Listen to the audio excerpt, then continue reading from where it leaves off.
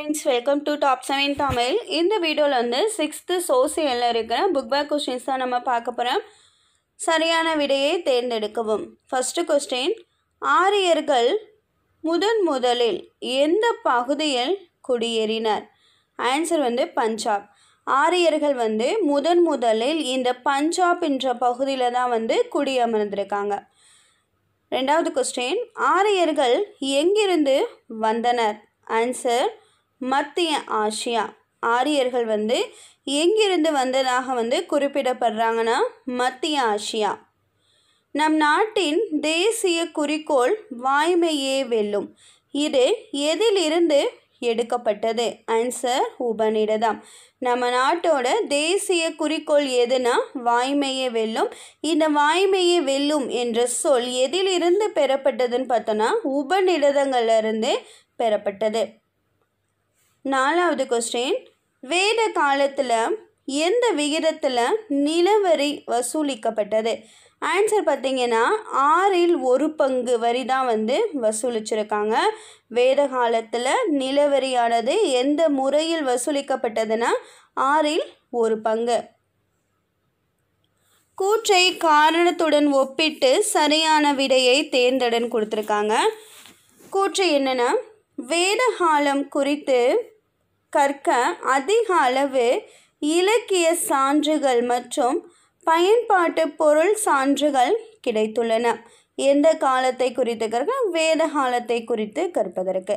இதற்குரிய காரணம் வந்து நான்கு வேதங்கள் பிராமணங்கள் ஆரண்யங்கள் உபநிடதங்களை உள்ளடக்கியது ஸ்ருதிகளாகும் அப்படின்றது கொடுத்துருக்காங்க. வேத காலத்தை பற்றி நம்ம தெரிஞ்சுக்கிறதுக்கு நிறைய இலக்கிய சான்றுகள் வந்து நமக்கு இருக்குது அதற்கு எக்ஸாம்பிள் தான் இந்த நாலு வேதங்கள் பிராமணங்கள் ஆரண்யங்கள் உபநிடதங்கள் இது எல்லாமே வந்து அந்த வேத காலத்தை குறிப்பிடுவதாக அமைந்துள்ளது. அப்போ ஆன்சர் என்னென்னா கூற்றும் காரணமும் சரி கூற்றுக்கான காரணம் சரியான விளக்கம் அப்படின்றதான் நமக்கு ஆன்சராக வரும். விடை ஏ மூணு தீபகற்ப இந்தியாவிலிருந்து ரோம் நாட்டிற்கு எஃகு ஏற்றுமதி செய்யப்பட்டது என்றும் அதன் மீது அலெக்சாண்ட்ரியா துறைமுகத்தில் வரி விதிக்கப்பட்டது என்றும் ஃபெரிப்ளிஸ் வந்து குறிப்பிடுறார். எங்கன்னா தீபகற்ப இந்தியாவிலிருந்து எஃகானது ரோம் நாட்டிற்கு வந்து ஏற்றுமதி செய்யப்பட்டது. ஏற்றுமதி செய்யும் நேரத்தில் அந்த ஒரு துறைமுகம் அலெக்சாண்ட்ரியா துறைமுகத்தில் வந்து வரி விதிக்கப்பட்டது. இவ்வாறு குறிப்பிட்டவர் யாருன்னா ஃபெரிஃப்ளஸ் வந்து சொல்லியிருக்காரு. கூற்று ரெண்டு இரும்பு வந்து உருவாக்கப்பட்டதற்கான சான்றுகள் பையம்பள்ளியில் வந்து கிடச்சிருக்கு. இரும்பு உரு வேத காலத்தில் இரும்பு உருவாக்கப்பட்டதற்கான சான்றுகள் வந்து எங்கே கிடச்சிருக்குன்னா பயம்பள்ளியில் ஆன்சர் பார்த்தீங்கன்னா ரெண்டுமே சரி.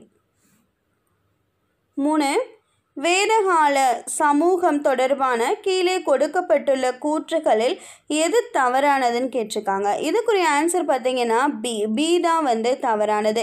குழந்தை திருமணம் புழக்கத்தில் இருந்தது என்பது தவறானது. குழந்தை திருமணம் வந்து கிடையாது. வேத காலத்தில் மாறாக ஒரு கைப்பெண் வந்து திருமணம் மறுமணம் வந்து செய்து கொள்ளலாம். ஒரு விதவை பெண் வந்து மறுமணம் வந்து செஞ்சுக்கலாம்.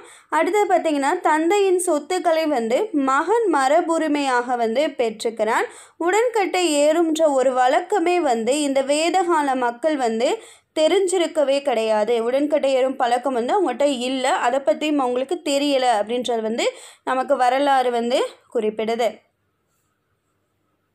அடுத்தது சரியான விடையை தேர்ந்தெடுத்து எழுதவும்.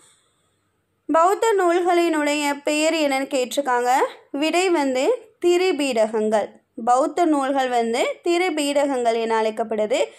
சமணத்தினுடைய முதல் தீர்த்தங்கர் என்று அழைக்கப்படுபவர் யாருன்னா ரிஷபர். மொத்தம் இருபத்தி நாலு தீர்த்தங்கர்கள் வந்து இருக்காங்க. இதில் ரிஷபர் தான் வந்து முதல் தீர்த்தங்கராக வந்து குறிப்பிடப்படுறாரு. மகாவீரர் வந்து கடைசி தீர்த்தங்கராக வந்து குறிப்பிடப்படுறார். சமணத்தில் எத்தனை தீர்த்தங்கர்கள் வந்து இருந்தாங்கன்னு பார்த்தோன்னா இருபத்தி நாலு தீர்த்தங்கர்கள் வந்து இருந்திருக்காங்க. மூன்றாம் பௌத்த சபை எங்கு கூட்டப்பட்டது? ஆன்சர் பாடலிபுத்திரம். மூன்றாவது பௌத்த சமய மாநாடு எங்கு நடந்ததுன்னா பாடலிபுத்திரம் புத்தர் வந்து அவருடைய முதல் போதனை உரையை எங்கு நிகழ்த்தினார்?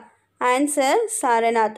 புத்தர் முதன் முதல்ல அவருடைய போதனையை வந்து எங்கே வந்து ஆரம்பித்தார் நிகழ்த்தினார் அப்படின்னு கேட்டிருக்காங்க.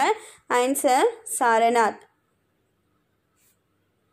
கூற்றோட காரணத்தை பொறுத்துக்கான்னு கொடுத்துருக்காங்க. கூற்று ஒரு சாதாரண மனிதரால் உபநிடதங்களை வந்து புரிந்து கொள்ள முடியாது.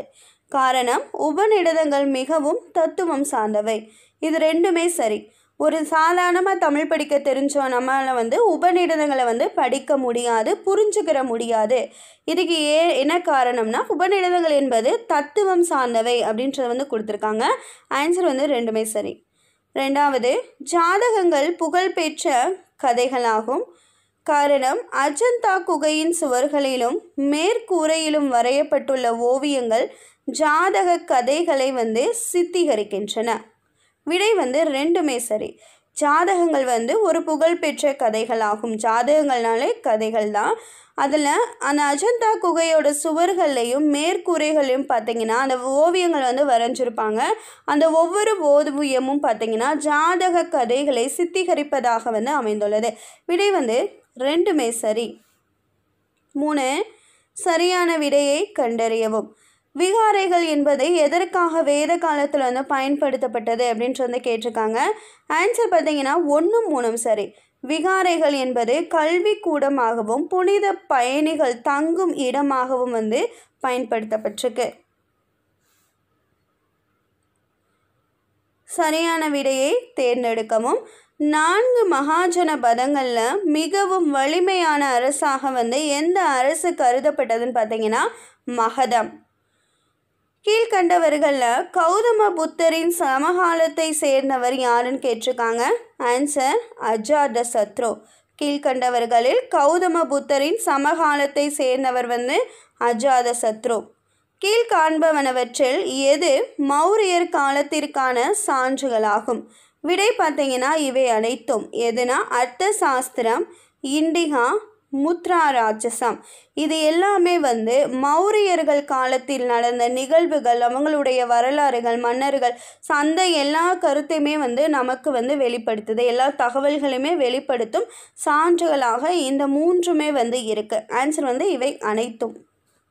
நாலு சந்திரகுப்த மௌரியர் அரியணையை துறந்து என் தாஷ் எனும் சமண துறவியோடு சிரவணபெலகுலாவுக்கு சென்றார் ஆன்சர் பத்ரபாகு. அங்கே உண்ணாவிரதம் இருந்து அவர் வந்து இறந்துருவார் சந்திரகுப்த மௌரியர். இவர் யாருடைய துணையோடு எந்த ஒரு சமண துறவியோடு சிரவணபெலகுலாவிற்கு சென்றார்னா பத்ரபாகு. செல்யூகஸ் நிகேடரின் தூதுவராக இருந்தவர் வந்து மெகஸ்தனேஸ். மெகஸ்தனேஸ் வந்து செல்யூகஸ் நிகேடரின் தூதுவராக வந்து இருந்திருக்காரு. மௌரிய வம்சத்தின் கடைசி அரசராக குறிப்பிடப்படுபவர் வந்து பிரகத்ரதா. மௌரிய வம்சத்தின் கடைசி அரசராக குறிப்பிடப்படுபவர் பிரிகத்ரதா. கூற்றை காரணத்துடன் பொறுத்துக. கூற்று அசோகர் இந்தியாவின் மாபெரும் பேரரசர் என கருதப்படுறாரு. காரணம் தர்மத்தின் கொள்கையின்படி அவர் ஆட்சி புரிந்தார். விடை ரெண்டுமே சரி.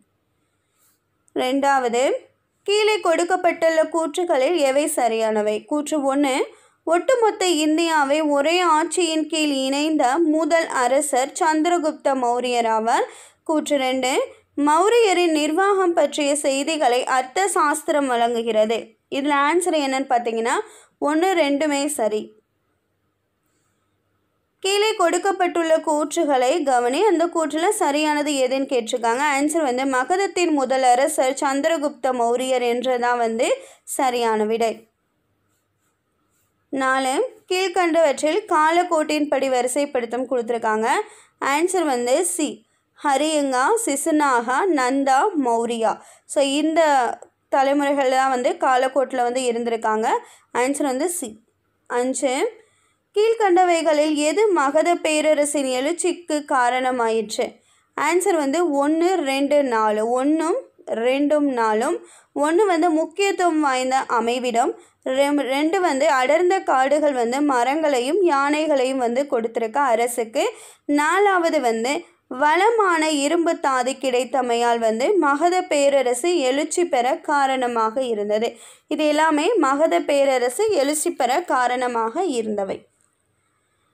இந்த வீடியோவில் பார்த்தீங்கன்னா நம்ம சிக்ஸ்த்து ஸ்டாண்டர்ட் சோசியில் இருக்கிற புக் பேக் கொஸ்டின்ஸ் தான் நம்ம பார்த்தோம். ஸோ புக் பேக் கொஸ்டின்ஸ் வந்து கண்டிப்பாக வந்து படிக்கணும். அதுக்கப்புறம் வந்து நம்ம புக்குக்குள்ளே இருக்க பாயிண்ட்ஸ் வந்து ரெஃபர் பண்ணால் ரெஃபர் பண்ணணும். ஃபஸ்ட்டு புக் பேக் கொஸ்டின்ஸ் தான் நம்மளுக்கு முக்கியம்.